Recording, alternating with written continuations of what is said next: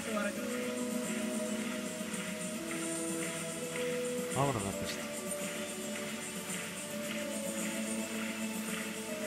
Ja tämmöisenä Len, Lemmi Kärppänä, joka ilahduttanut monia katsojia ja isokilmainen Lemmi Kärppä, niin hänen,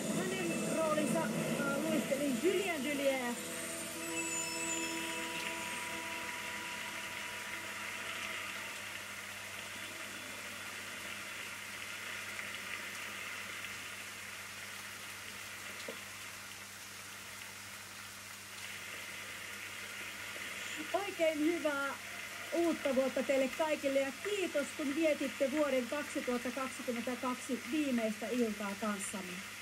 Hyvää uutta vuotta. Oikein hyvää uutta vuotta. Hyvää uutta vuotta. Meille myös.